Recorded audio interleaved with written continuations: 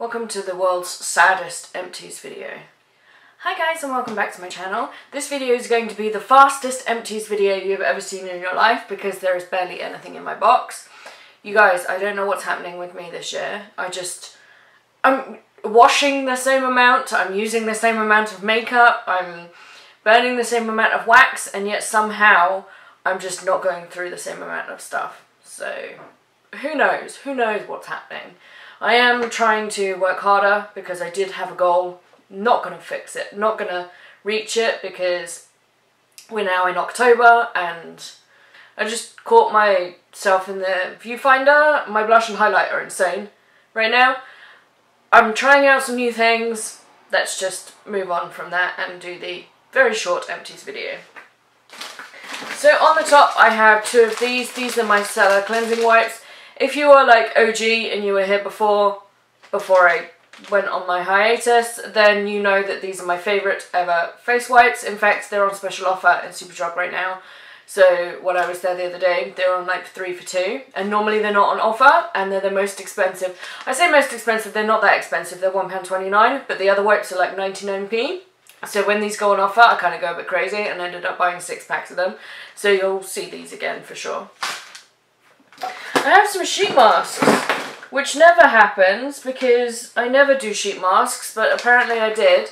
But these are both the Tony Moly sheet masks. One is skin purifying and one is vitalizing. I have a huge collection of like 50 sheet masks, which I'm working my way through. And then I won't be buying any more sheet masks because this one single-use packaging is a waste of packaging and bad on the environment. And not only that, but the mask itself is probably really bad for the environment as well, so I'm not buying any more single-use masks. I'll just buy the potted masks, and preferably in a glass or recyclable plastic pot rather than in a tube that you can't recycle. Oh, I also have the collagen under eye masks. These ones were crap. Don't buy these ones, but I have had some before that were really good. For example, the Sephora ones. The Sephora ones are amazing. Always buy those ones. But these ones were rubbish. I would not use these. Plus, they had 30 minutes on and they didn't do anything other than dry out my under eyes. So I don't know what was that, what that was about. But I won't buy these kind again, but I will get the under eye masks again. The Soap and Glory ones are amazing, but they're like £3 per one use, so that's just ridiculous. But these only come in this kind of packaging as far as I'm aware, so I will get this packaging unless I can find others. There are some, who is it? Is it Peter Thomas Roth that does the ones in the pot where you just, and it's just like a pile of them. Somebody tell me which company that is because I'll get it in that form and try it that way. Because I'd much rather that than this wasteful packaging. Although this one says you can recycle it, so... I have, let's do that last. I have some shaving cream here. I have the Cremo Made in the USA Moisturizing Coconut Mango Shave Cream. This is okay. It says it's supposed to reduce razor burn. I mean, I guess it didn't give me razor burn. I'm not, razor burn isn't something that I have or ever get, but I do get the ingrown hairs and I was wondering if it would help with that because it says fights nicks, irritation and razor burn but it didn't do that so I probably won't get it again. I know that there are quite a few different kinds of shaving creams that you can get in Target so I will, next time I'm in San Francisco I'll get a different kind but I won't get this kind again. I have the Beauty 360 Original Nail Polish Remover from CVS. This was rubbish but I don't know if it was bad because I literally only ever use the 100% pure acetone from Sally Beauty and because this isn't pure acetone, I don't know if that's, like, I'm used to that. So this turned out to be rubbish for me. So it might work for you. I don't know. But for me, I would never get this again. I mean, I probably would. Because when I'm in San Francisco, if I need to take off my nail polish, generally I go for, like, a, a little tub of the, um, like, slices. But they didn't have any of those. So I had to get this. But at some point, I will be in San Francisco again. And I will need nail polish remover. So I have the L'Oreal Men Expert Shave Revolution Shave Gel. David doesn't wet shave, so he said I could use this, and I used it on my legs. It was okay. It was actually nicer than the Cremo one made for women, so... But I guess because face skin is more sensitive than body skin, so that one's made for body, this one's made for face, so... But yeah, I wouldn't buy it because it smells like man, But if he got another one in a kit that he wasn't going to use, then I would use that up as well. I have some perfume samples. I have the Acqua di Parma Blue Mediterranean. This is a like gender-free scent. Like you can use it for men and women. It was okay. It when it first went on, it was kind of like, this is too weird, I need to take it off, I need to shower right now. But then throughout the day, as it faded, it actually got nicer, so I wouldn't buy it because that initial weird scent. I have the Joy by Dior. This was okay. I wouldn't buy it. It's not my first preference if I was going to buy a Dior perfume. But it was really nice, actually. That's really nice. I might buy it. I might consider, if you know, duty free or whatever. Special offers and things. I have some of these. I have two of these, the Body Shop Bath Bubbles. I have the Moringa and I have the Pink Grapefruit. The Moringa one smells amazing. Somebody, somebody who knows Body Shop, tell me. The Moringa line, the cream, the hand cream, the shower gel, all that, does it smell like this does? Because if it does, then I need everything from that line. Everything. I have Pink Grapefruit Bath Bubble. This one's also smelled really good, but I preferred the scent of this one. And yeah, they just make, they're like bubble bars from Lush, but yeah, they just made bubbles in my bath. So I got those because I was in the body shop because they sent me a birthday thing and my birthday was in the summer and I got five pound credit, store credit for my birthday. So I went there and I bought a few of these. I think it was like seven for six pounds or six for seven pounds or something. These are the Fiancée fragrance body sheets. These smell like grapefruit. These were really, really nice. These are some kind of weird Korean, that's not Korean, that's Japanese. They're Japanese and Erin got these in like a box that she gets from, uh, which has like K-beauty, um, Japanese beauty, all that kind of stuff in it. I would maybe get these again, or I would use them again if they came to me. I'm not planning on going to Japan anytime soon, so probably won't be buying them. But they were pleasant enough. I have the Molton Brown Orange and Bergamot Body Wash. This was okay. I don't buy Molton Brown just because I think it's overpriced for what it is. So yeah, I probably won't buy, but I'll use. Like, it wasn't unpleasant, so... I have the Bath & Body Works Eucalyptus Spearmint PocketBac, and you can tell I was working on this for a while because literally all the writing's gone away. But this was okay. I enjoyed the scent and I love these PocketBacs, so I would get these again. Why am I out of focus there? There we go. Why is it trying to focus on this thing that's way over here when I'm like... So I would get these again. Maybe in this scent if they still have the scent. When I was last there, I didn't get it because I'd literally just used one up and I was like, can't deal with that again. I have the Too Faced Hangover RX 3-in-1 setting sprays. I really enjoy this setting spray. I've had a few samples now to the point where I'm actually tempted to get a full size. But I have other setting sprays right now and if I did get it, I would get the watermelon one because it's just gone on the floor. Because watermelon is a thing. I love watermelon. Even if it's like artificial watermelon, I just, uh, watermelon's a thing. I have the Waterman's Grow Me shampoo. This is my Holy Grail shampoo. I order it online. However, you can now buy it in Boots. It's good for like uh, hair loss, whether it's hormonal based hair loss for men and women or chemo for like cancer and stuff. It's been proven on many people that if alopecia, like stress alopecia, anything that causes hair loss, this shampoo is incredible. Like you see all the things and you're like, yeah, that doesn't really work, you know? But it really works. Honestly, as somebody who uses this all the time, it really works. I lose my hair because of my PCOS to the point where I could run my fingers through my hair and literally pull clumps of my hair out. And since I started using this shampoo, that doesn't happen. So, and I'm actually getting some volume.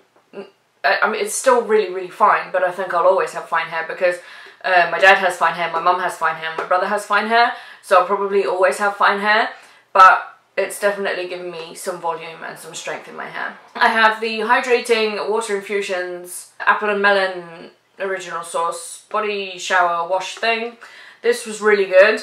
The scent is amazing. I'm currently working on, there's a pineapple pineapple grapefruit one and a rose and strawberry one or something. I'm working on both of those. There are one's in the bath, one's in the shower and I love this line and I would get it again but only if it was on offer because when I bought these they were on offer down from £3 to £1 so if it was a pound again then I would get it again.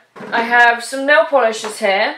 I have the Essie sample in Tart Deco I really enjoyed this nail polish, but by the time I got down to the bottom, I'm like, I'm over this colour, this like coral colour. I need to move on to something else. I have so many new like shiny holographic polishes. I have some new Crelly polishes. I have some new jelly polishes that I wanted to use. I didn't want to just use a coral cream anymore, so I wouldn't replace it anytime soon, but it is a nice colour and Essie formula is always great. People always say that Essie is like touch and go, hit and miss, but I've never had a bad Essie polish, and I don't know if that's because I apply differently or if it's because I've not met the ones that they've had previously, but yeah. And I have this tiny little uh, purple nail polish sample, which I have no idea where this came from, but yes, I used it. It's tiny. Uh, it was actually really, really nice. It was kind of like a jelly formula, but it lasted for ages. OPI lasts as long as this does, and this is teeny tiny, like, it doesn't even have a brand. It doesn't even have a shade. It's got the number 12 written on the bottom, but I don't know what that means. But yes, this is a really good nail polish. I have some sponges here that I'm just chucking out because they're old and falling apart. This one is like, I don't know if you can see that, but there's like holes yeah, you can definitely see that. Um, and this one, sorry it's dirty, but it's pretty much doing the same thing. So yeah, so I'm throwing these out because I have plenty of sponges and I don't need to be dealing with sponges that are going to make me look crazy. I have here an empty Stila kitten case because I took the like I took the pan out and I put it in my Z palette so that I can use it up next year. This is very exciting. This is the NYX Mosaic Powder in Plummy. And this is a blush and it's completely gone. I have been working on this for literally years. Granted, I don't wear a much blush, but it feels like I was never going to finish this, and I finished it. And now I can use different products that, sorry, it just literally just the heavens opened and I started chucking it down and it caught my attention and I'm just like, what is happening outside?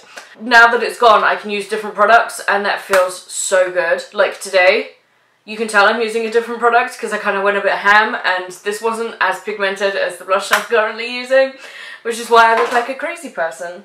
I have the Volume Million Lashes by L'Oreal. They're not cruelty free, um, but that doesn't bother me. I'm not like specifically going out of my way to pick cruelty free, but however, to those who also don't really care whether something's cruelty free or not, this is an excellent mascara. This is my favourite mascara in the world.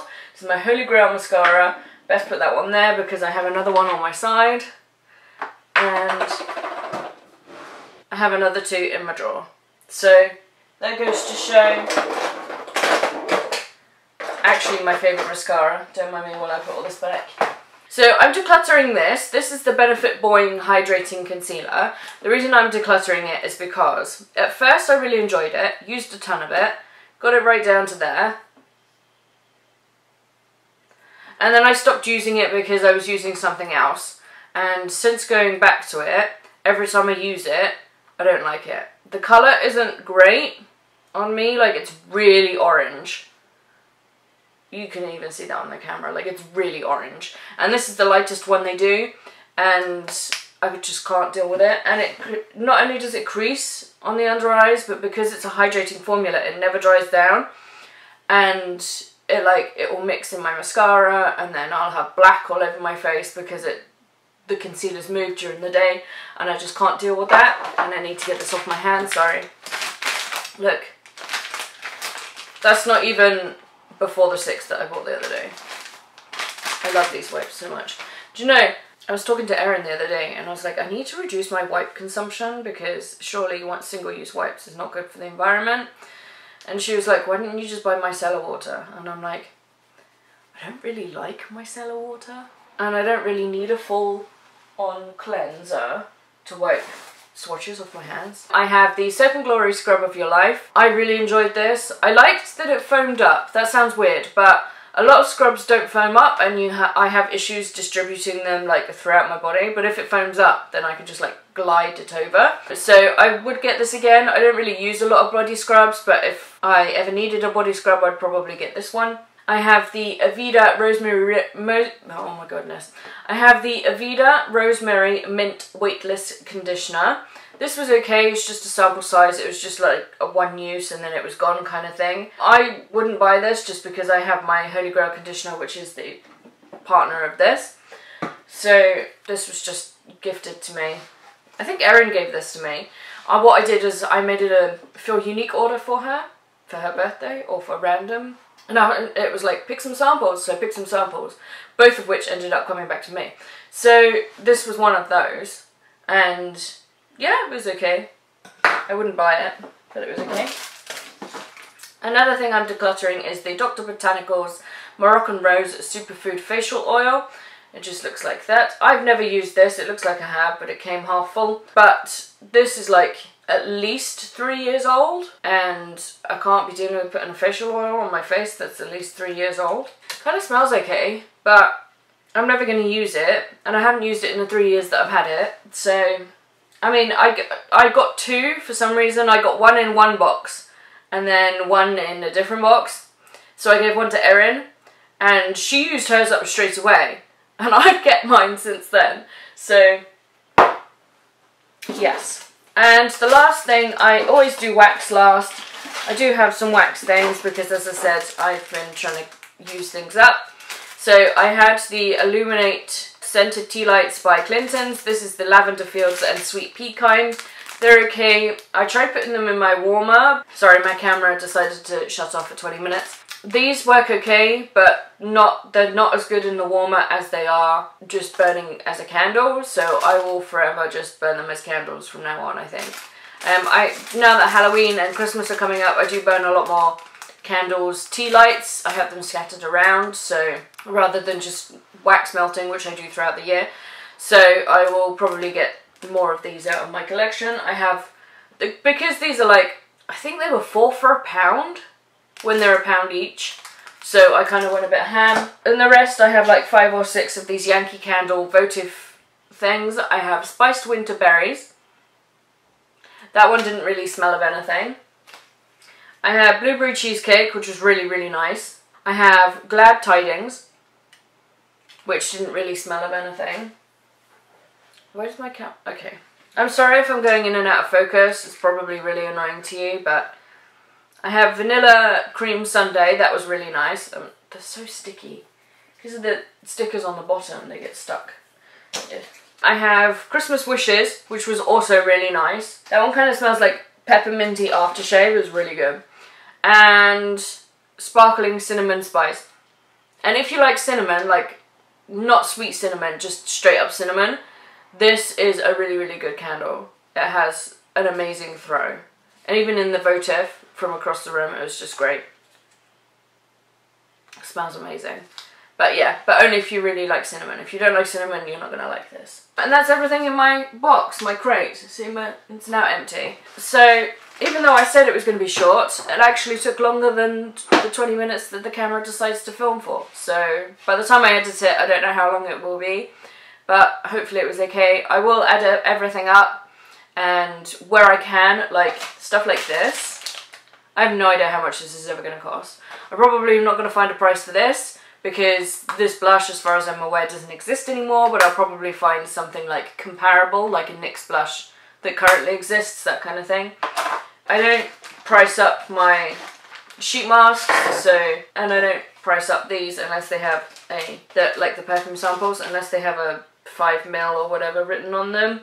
Doesn't look like they do, so I probably won't be pricing them up as well. But yes, anything that I do price up, I will include, and I'll do the calculator at the end.